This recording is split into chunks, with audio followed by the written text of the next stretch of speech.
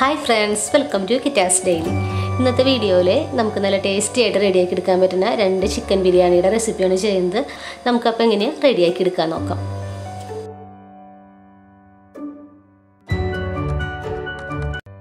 ബിരിയാണി റെഡിയാക്കി എടുക്കാനായിട്ട് ഞാൻ ഒരു കിലോളം ചിക്കൻ ക്ലീൻ ചെയ്തെടുത്തിട്ടുണ്ട്.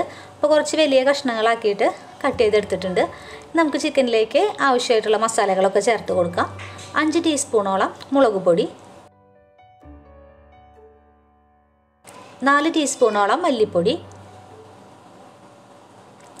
നാല് ടേബിൾ സ്പൂണോളം ഇഞ്ചി വെളുത്തുള്ളി പേസ്റ്റ് നാല് പച്ചമുളക് ഒന്ന് ചെറുതാക്കി അരിഞ്ഞിട്ട് കൊടുക്കുക. അല്ലാന്നുണ്ടെങ്കിൽ ചതച്ചിട്ട് കൊടുക്കാം ഇനി ഒരു എട്ട് കഷ്ണത്തോളം കറുവപ്പട്ട പത്ത് ഗ്രാമ്പു ഒരു ടീസ്പൂണോളം ഷാജീര.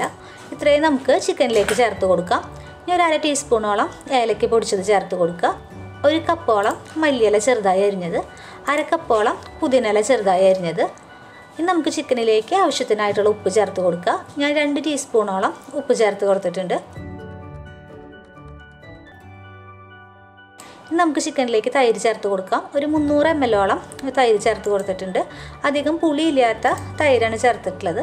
ഇനി ഒരു മുക്കാൽ കപ്പോളം ഓയിൽ ചേർത്ത് കൊടുക്കുക. അപ്പോൾ ഞാൻ സവാള ഫ്രൈ ചെയ്തെടുത്തിട്ടുള്ള ഓയിൽ ചൂടാറിയതിന് ശേഷമാണ് ഒഴിച്ച് കൊടുത്തിട്ടുള്ളത്. ഒരു മുക്കാൽ കപ്പോളം ഒഴിച്ച് കൊടുത്തിട്ടുണ്ട്. ഇനി ഒരു മൂന്ന് ടീസ്പൂണോളം ലൈം ജ്യൂസ് കൂടെ ചേർത്ത് കൊടുക്കുക. നമുക്ക് ചിക്കനിലേക്കായിട്ട് നാല് മീഡിയം വലുപ്പത്തിലുള്ള സവാള കനം കുറച്ച് അരിഞ്ഞതിന് ശേഷം ഫ്രൈ ചെയ്തെടുത്തിട്ടുണ്ട്. കൈകൊണ്ട് ഒന്ന് തിരുമ്മി ഇതിലേക്ക് ഇട്ട് കൊടുക്കുക. അപ്പോൾ ഈ സവാള ഫ്രൈ ചെയ്തെടുത്തിട്ടുള്ള ഓയിലാണ് നമ്മൾ നേരത്തെ ഒഴിച്ചു കൊടുത്തിട്ടുണ്ടായിരുന്നത്. ഇത്രയും ചേർത്ത് കൊടുത്തിട്ട് നല്ല പോലെ ഒന്ന് മിക്സ് ചെയ്തെടുക്കുക. ചിക്കനിലേക്കൊക്കെ മസാല കറക്റ്റായി പിടിക്കാനായിട്ട് നല്ല പോലെ ഒന്ന് മിക്സ് ചെയ്ത് ഒരു മണിക്കൂറോളം നമുക്ക് മാറ്റി വയ്ക്കാം. അപ്പോൾ നമ്മൾ ഒരു മണിക്കൂർ വയ്ക്കുമ്പോൾ കറക്റ്റായിട്ട് ചിക്കനിലേക്ക് ആ മസാലയൊക്കെ പിടിച്ചിട്ടുണ്ടാവും.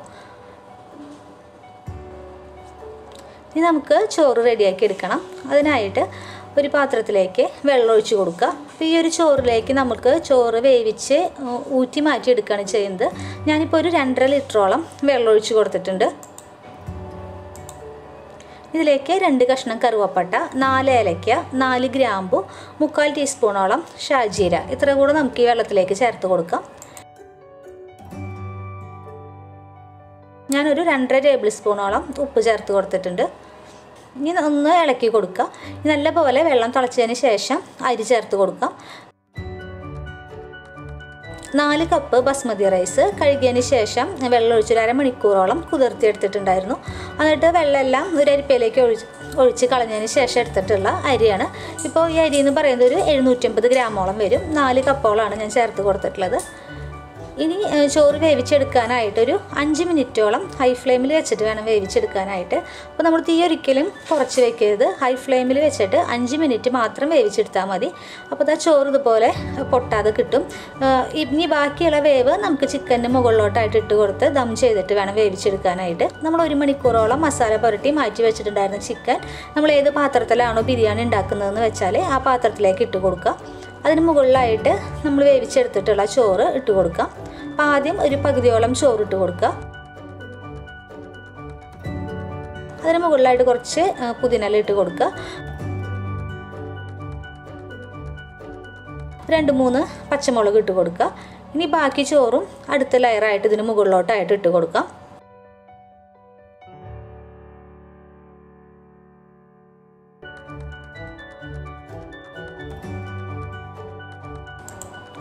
ചോറിന് മുകളിലോട്ടായിട്ട് ഒരു അരക്കപ്പോളം കപ്പോളം ചൂടുവെള്ളം എടുക്കുക. അതിലേക്ക് ഒരു ടേബിൾ സ്പൂൺ നെയ്യ് ഒഴിച്ചിട്ട് ഒന്ന് മിക്സ് ചെയ്തതിന് ശേഷം നമുക്ക് ഈ ചോറിന് മുകളിലോട്ടായിട്ട് ഒഴിച്ചു കൊടുക്കാം.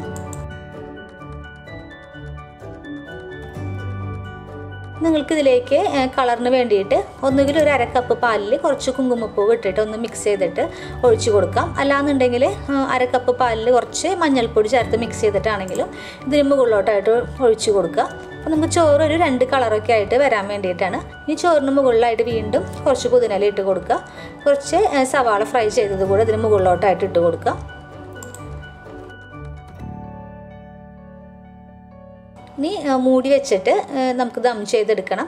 അപ്പോൾ ഞാനൊരു അലുമിനിയം ഫോയിൽ വെച്ചിട്ട് ടൈറ്റായിട്ട് ഒന്ന് കവർ ചെയ്തെടുത്തിട്ടുണ്ട്. ഇനി മൂടി വെച്ച് പത്ത് മിനിറ്റോളം ഹൈ ഫ്ലെയിമിൽ വെച്ചിട്ട് വേവിച്ചെടുക്കുക. അപ്പോൾ ഫ്ലെയിം ഒന്നും കുറച്ച് വെക്കരുത്. പത്ത് മിനിറ്റോളം ഹൈ ഫ്ലെയിമിൽ വെക്കുമ്പോൾ ആ ചിക്കനിലുള്ള വെള്ളമൊക്കെ ഇറങ്ങി വറ്റി വന്നിട്ടുണ്ടാവും.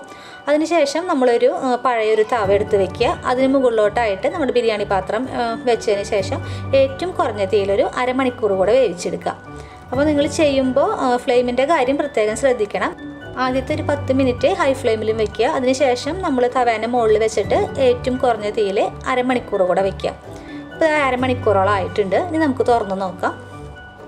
ഇങ്ങനെ ചെയ്യുമ്പോൾ നമുക്ക് ആ ചിക്കന്റെ വേവും അതുപോലെ തന്നെ ചോറിന്റെ വേവും ഒക്കെ കറക്റ്റായിട്ട് കിട്ടും. അപ്പോൾ നിങ്ങൾക്ക് ഈ ചോറ് കാണുമ്പോൾ തന്നെ മനസ്സിലാവുണ്ടാവും. കറക്റ്റായി വെന്ത് വന്നിട്ടുണ്ട്. അതുപോലെ തന്നെ ചോറ് പൊട്ടി പോയിട്ടൊന്നുമില്ല. കറക്റ്റ് തന്നെ ആ വേവൊക്കെ പെർഫെക്റ്റ് ആയിട്ട് തന്നെ വന്നിട്ടുണ്ട്. ഇനി നമുക്കിതൊന്ന് മിക്സ് ചെയ്തെടുക്കാം. ഒന്നുകിൽ ആദ്യം ചോറ് മുകൾ ഭാഗം മാത്രം ഒന്ന് മിക്സ് ചെയ്തതിന് ശേഷം മസാല ആക്കിയിട്ട് എടുക്കാം. അല്ലാന്നുണ്ടെങ്കിൽ മസാല കൂടെ ചോറിനോട് കൂടെ തന്നെ മിക്സ് ചെയ്തിട്ടായാലും എടുക്കാം. അപ്പോൾ നല്ല ടേസ്റ്റിൽ നമുക്ക് റെസ്റ്റോറന്റിൽ നിന്നൊക്കെ കഴിക്കുന്ന ടേസ്റ്റിൽ തന്നെ റെഡിയാക്കി എടുക്കാൻ പറ്റുന്ന നല്ലൊരു ഹൈദരാബാദി ചിക്കൻ ബിരിയാണിയുടെ റെസിപ്പിയാണ് അപ്പോൾ നിങ്ങൾ തീർച്ചയായിട്ടും ഒരു പ്രാവശ്യമെങ്കിലും ഈ രീതിയിൽ ഒന്ന് ട്രൈ ചെയ്ത് നോക്കിയോളൂ.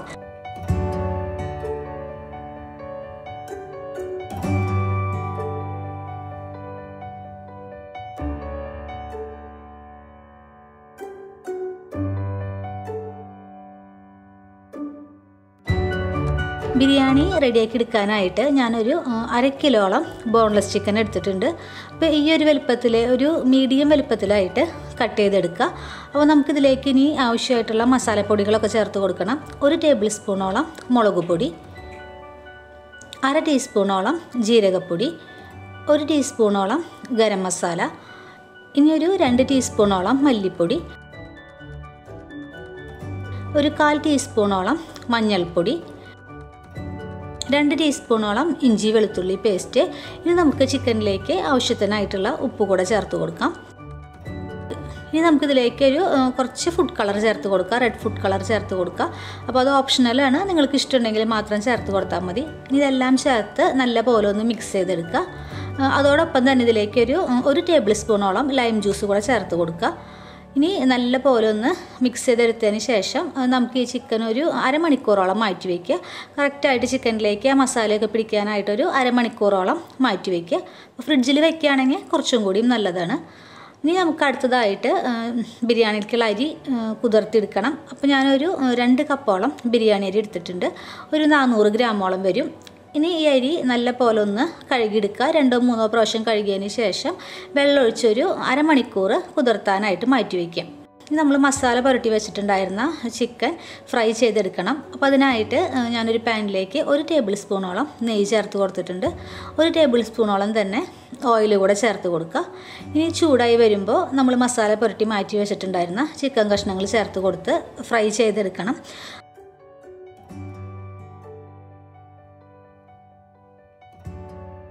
അപ്പോൾ ചിക്കൻ ഫ്രൈ ചെയ്യുന്ന സമയത്ത് ആദ്യത്തെ ഒരു രണ്ട് മിനിറ്റ് ഹൈ ഫ്ലെയിമിൽ വെച്ചിട്ട് ഫ്രൈ ചെയ്തെടുക്കുക. അതുപോലെ തന്നെ ഒരു രണ്ട് മിനിറ്റ് കഴിയുമ്പോൾ മറിച്ചിട്ട് കൊടുക്കുക. മറിച്ചിട്ട് കൊടുത്തിട്ട് വീണ്ടും ഒരു രണ്ട് മിനിറ്റോളം ഹൈ ഫ്ലെയിമിൽ വെച്ചിട്ട് തന്നെ ഫ്രൈ ചെയ്തെടുക്കുക. അപ്പോൾ രണ്ട് സൈഡും നമ്മൾ ഹൈ ഫ്ലെയിമിൽ വെച്ച് വെച്ചതിന് ശേഷം വീണ്ടും ഒരു നാല് മിനിറ്റോളം മീഡിയം ഫ്ലെയിമിൽ വെച്ചിട്ട് വേവിച്ചെടുക്കുക. അതിനുശേഷം വീണ്ടും മറിച്ചിട്ട് ഒരു നാലഞ്ച് മിനിറ്റ് കൂടെ ഫ്രൈ ചെയ്തെടുക്കാം. അപ്പോൾ ചിക്കൻ കഷ്ണങ്ങൾ നമുക്ക് ഈ ഒരു രീതിയിൽ ചെയ്യുമ്പോൾ നല്ല ജ്യൂസി ആയിട്ട് കിട്ടാൻ വേണ്ടിയിട്ടാണ് നമ്മളിങ്ങനെ ചെയ്യുന്നത്. ഇപ്പോൾ ഞാനത് മൂടി വെച്ചിട്ട് വേവിച്ചിട്ടുണ്ട്. അപ്പോൾ ചിക്കനൊക്കെ കറക്റ്റായിട്ട് വെന്ത് വന്നിട്ടുണ്ട്. ചിക്കനിലേക്ക് മസാലയൊക്കെ കറക്റ്റായിട്ട് പിടിച്ചിരിക്കുന്ന ഈ ഒരു പാകത്തിന് വേണം റെഡിയാക്കി എടുക്കാനായിട്ട്. ഇനി നമുക്ക് ചിക്കനെല്ലാം ഈ പാനിൽ നിന്ന് എടുത്ത് മാറ്റാം. ഇനി ഇതേ പാനിൽ തന്നെ നമുക്ക് ഇതിലേക്ക് ആവശ്യമായിട്ടുള്ള ബിരിയാണിയിലേക്ക് ആവശ്യമായിട്ടുള്ള ഒരു മസാല റെഡിയാക്കി എടുക്കണം. നമുക്ക് ചിക്കൻ ഫ്രൈ ചെയ്തെടുത്തിട്ടുള്ള ആ സെയിം പാനിലേക്ക് ഞാൻ ഒരു ടേബിൾ സ്പൂണോളം ഓയിൽ ഒഴിച്ചു കൊടുത്തിട്ടുണ്ട്. ഇതിലേക്ക് രണ്ട് കഷ്ണം കറുവപ്പട്ട രണ്ട് തക്കോലം ഒരു ടീസ്പൂണോളം ഷാജീര ഒരു അഞ്ചാറ് ഏലക്ക അഞ്ചാറ് കഷ്ണം ഗ്രാമ്പു ഒരു ടീസ്പൂണോളം കുരുമുളക് രണ്ട് ബേലീഫ് ഇത്രയും ചേർത്തിട്ട് ഇതെല്ലാം ഒന്ന് ഒരു മീഡിയം ഫ്ലെയിമിൽ വെച്ചിട്ട് ചൂടാക്കി എടുക്കുക. ഇതെല്ലാം ഒന്ന് ചൂടായി വന്നതിന് ശേഷം സവാള ചേർത്ത് കൊടുക്കാം ഞാനിപ്പോൾ ഒരു കപ്പോളം സവാള ചേർത്ത് കൊടുത്തിട്ടുണ്ട്. സവാള ചേർത്ത് നമുക്ക് നല്ല പോലെ തന്നെ വഴറ്റിയെടുക്കണം. സവാളയുടെ കളറൊക്കെ മാറി ഒരു ഗോൾഡൻ കളർ ആവുന്ന അത്രയ്ക്ക് നമ്മൾക്ക് വഴറ്റിയെടുക്കണം. നമുക്ക് സവാളയൊക്കെ വഴറ്റിയെടുക്കുന്ന ഈ ഒരു സമയം കൊണ്ട് ഇതിലേക്ക് ആവശ്യമായിട്ടുള്ളൊരു മസാല റെഡിയാക്കി എടുക്കണം അപ്പോൾ അതിനായിട്ട് ഒരു ബൗളിലേക്ക് ഞാൻ മുക്കാൽ കപ്പോളം തൈര് എടുത്തിട്ടുണ്ട്. അപ്പോൾ എടുത്തിട്ടുള്ള തൈര് അധികം പുളിയില്ലാത്ത തൈരാണ് എടുത്തിട്ടുള്ളത്. ഇനി നമുക്കിതിലേക്ക് ഒരു അര ടീസ്പൂണോളം മുളക് പൊടി അര ടീസ്പൂണോളം മല്ലിപ്പൊടി കാൽ ടീസ്പൂണോളം ഗരം മസാല. ഇത്രയും ചേർത്തിട്ട് നല്ല പോലെ തന്നെ ഒന്ന് മിക്സ് ചെയ്ത് മാറ്റി വയ്ക്കാം. സവാളയുടെ കളറൊക്കെ മാറി വന്നിട്ടുണ്ട്. നമുക്കിതിലേക്കൊരു അഞ്ചാറ് പച്ചമുളക് നീളത്തിൽ അരിഞ്ഞത് ചേർത്ത് കൊടുക്കുക. അതുപോലെ തന്നെ നമ്മൾ മാറ്റി വെച്ചിട്ടുണ്ടായിരുന്ന തൈരിന്റെ മിക്സ് കൂടെ ഇതിലേക്ക് ഒഴിച്ചു കൊടുത്ത് ലോ ഫ്ലെയിമിൽ വെച്ചിട്ട് ഒന്ന് തിളപ്പിച്ചെടുക്കുക. നമ്മൾ ലോ ഫ്ലെയിമിൽ വെക്കുമ്പോൾ വെച്ചിട്ട് നല്ല പോലെ ഒന്ന് മിക്സ് ചെയ്ത് കൊടുക്കുക. അപ്പോൾ ചെറുതായിട്ടൊന്ന് തിളച്ച് വരാനായിട്ട് തുടങ്ങും. ആ സമയത്ത് കുറച്ച് മല്ലിയലയും പുതിനലയും ചേർത്ത് കൊടുക്കുക. രണ്ട് ടേബിൾ സ്പൂണോളം മല്ലിയിലയും രണ്ട് ടേബിൾ സ്പൂണോളം തന്നെ പുതിനല കൂടെ ചേർത്ത് കൊടുക്കുക. ഇപ്പോൾ ഏകദേശം ഒരു ഒരു മിനിറ്റോളം ആയിട്ടുണ്ട്. ഈ സമയത്ത് നമുക്ക് ഇതിലേക്ക് നമ്മൾ ഫ്രൈ ചെയ്ത് മാറ്റി വെച്ചിട്ടുള്ള ചിക്കൻ കഷ്ണങ്ങൾ കൂടെ ചേർത്ത് കൊടുക്കുക. അപ്പോൾ ചിക്കൻ കഷ്ണങ്ങൾ ചേർത്തിട്ട് ഇനി ഒരു മൂന്ന് മിനിറ്റ് കൂടെ ഒരു മീഡിയം ഫ്ലെയിമിൽ വെച്ചിട്ട് വേവിക്കുക. അപ്പോൾ കറക്റ്റ് ആ നമ്മൾ റെഡിയാക്കി എടുത്തിട്ടുള്ള ഈ തൈരിന്റെ ഈ മിക്സൊക്കെ ചിക്കനിലേക്ക് കറക്റ്റായിട്ട് സെറ്റായിട്ട് വരും. അപ്പോൾ ഒരു മൂന്ന് മിനിറ്റോളൊക്കെ ഒരു മീഡിയം ഫ്ലെയിമിൽ വെച്ച് വേവിച്ചാൽ മതി. അതുപോലെ തന്നെ ഈ സമയത്ത് ഉപ്പ് നോക്കിയിട്ട് ആവശ്യത്തിനായിട്ടുള്ള ഉപ്പും കൂടെ ചേർത്ത് കൊടുക്കുക. നമ്മൾ ചിക്കനിൽ ഉപ്പ് ചേർത്തിട്ടുണ്ടായിരുന്നു. അപ്പോൾ നമ്മൾ തൈരിന്റെ മിക്സ് റെഡിയാക്കിയപ്പോൾ അതിലേക്കും കൂടെ ആവശ്യത്തിനായിട്ടുള്ള ഉപ്പാണ് ചേർത്ത് കൊടുത്തിട്ടുള്ളത്. ഇനി മൂടി വെച്ചൊരു മൂന്ന് മിനിറ്റോളം വേവിച്ചെടുക്കുക.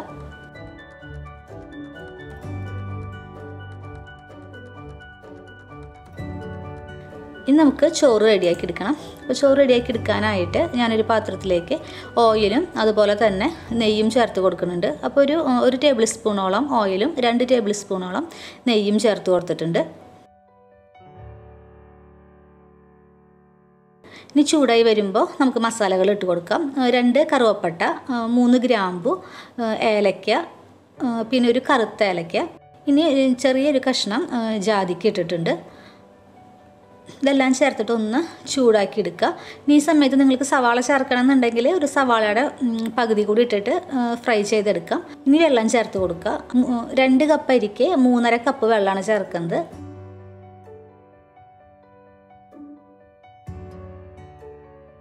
അതുപോലെ ചോറ് വേവിച്ചെടുക്കാൻ ആവശ്യത്തിനായിട്ടുള്ള ഉപ്പ് കൂടെ ചേർത്ത് കൊടുക്കുക.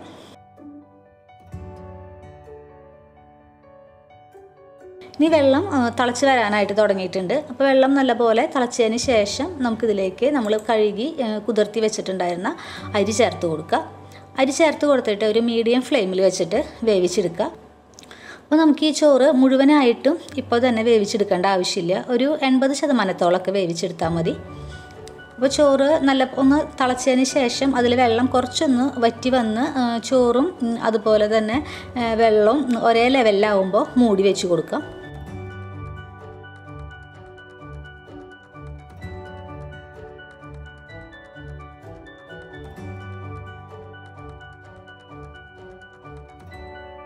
അപ്പോൾ ഞാൻ പറഞ്ഞ പോലെ തന്നെ ഒരു എൺപത് ശതമാനത്തോളമൊക്കെ വേവിച്ചെടുത്താൽ മതി. ഇപ്പോൾ ചോറുതാ വെന്ത് വന്നിട്ടുണ്ട്.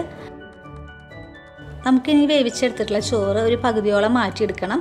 നമുക്ക് ചിക്കൻ ലെയറായിട്ട് ഇടാൻ വേണ്ടിയിട്ട്. അപ്പോൾ ഈ ചോറിൽ നിന്ന് ഒരു പകുതി ചോറ് ആദ്യം എടുത്ത് മാറ്റുക.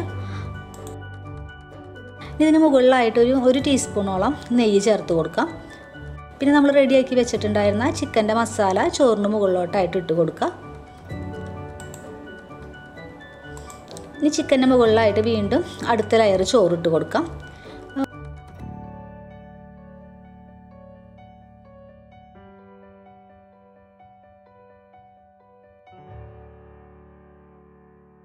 അപ്പോൾ ചോറിന് മുകളിലായിട്ട് കുറച്ച് മല്ലിയിലയും പുതിനയിലയും ഒക്കെ ചെറുതായി അതിനത് ചേർത്ത് കൊടുക്കുക. പിന്നെ ഒരു ടീസ്പൂണോളം നെയ്യ് കൂടെ മുകളിലോട്ടായിട്ട് ഒഴിച്ചു കൊടുക്കാം ഇത്രയും ചെയ്തതിന് ശേഷം മൂടി വെച്ചിട്ട് നല്ല ടൈറ്റായിട്ട് മൂടി വെക്കണം. അപ്പോൾ ഞാനൊരു അലുമിനിയം ഫോയിൽ വെച്ചിട്ട് ഒന്ന് കവർ ചെയ്തിട്ടുണ്ട്. ഇനി ഒരു പത്ത് മിനിറ്റ് മുതൽ ഒരു പന്ത്രണ്ട് മിനിറ്റ് വരെ ലോ ഫ്ലെയിമിൽ വെച്ചിട്ട് വേണം നമ്മൾ വേവിച്ചെടുക്കാനായിട്ട്. അപ്പോൾ നമുക്ക് കറക്റ്റായിട്ട് ചോറും അതുപോലെ തന്നെ ചിക്കന്റെ മസാലയൊക്കെ സെറ്റായി വന്നിട്ടുണ്ടാവും. അപ്പോൾ അതാ ഇത്രയേ ഉള്ളൂ. വളരെ എളുപ്പത്തിൽ നമുക്ക് നല്ല ടേസ്റ്റിൽ റെഡിയാക്കി എടുക്കാൻ പറ്റുന്ന ബോൺലെസ് ചിക്കൻ ബിരിയാണിയാണ്. അപ്പോൾ കുറച്ചുകൂടി നമുക്ക് ഈ ചോറ് കഴിക്കാനായിട്ട് കുറച്ചുകൂടെ നല്ലത് നമ്മൾ ഈ ചോറ് റെഡിയാക്കി വെച്ചിട്ട് ഒരു അരമണിക്കൂറൊക്കെ കഴിഞ്ഞിട്ട് കഴിക്കുമ്പോഴാണ് കൂടുതൽ ടേസ്റ്റ് ഉണ്ടാവുക. ആ ചോറിലേക്കൊക്കെ കറക്റ്റ് മസാല സെറ്റായി വരുമ്പോൾ ടേസ്റ്റ് ഉണ്ടാവും. ഇനിയിപ്പോൾ ചോറും അതുപോലെ മസാലയും കൂടെ ഒന്ന് മിക്സ് ചെയ്തെടുക്കുന്നുണ്ട്. ഇനി ചോറിന് മുകളിലോട്ടായിട്ട് നമുക്ക് സെർവ് ചെയ്യുന്ന സമയത്ത് അണ്ടിപ്പരിപ്പും അതുപോലെ തന്നെ കുറച്ച് സവാളയൊക്കെ ഫ്രൈ ചെയ്ത് മുകളിലോട്ടായിട്ട് ഇട്ട് കൊടുക്കാം. അപ്പോൾ ഇത്രയേ ഉള്ളൂ. നല്ല ടേസ്റ്റിൽ റെഡിയാക്കി എടുക്കാൻ പറ്റുന്ന ബോൺലെസ് ചിക്കൻ ബിരിയാണി ഇപ്പോൾ റെഡി ആയിട്ടുണ്ട്. അപ്പോൾ എല്ലാവരും ഒരു പ്രാവശ്യമെങ്കിലും ഈ രീതിയിലൊന്ന് ട്രൈ ചെയ്ത് നോക്കിയോളൂ. നിങ്ങൾക്ക് ഇഷ്ടപ്പെട്ടാൽ ലൈക്ക് ചെയ്യാനും ഷെയർ ചെയ്യാനും ഒന്നും മറക്കരുത്. താങ്ക്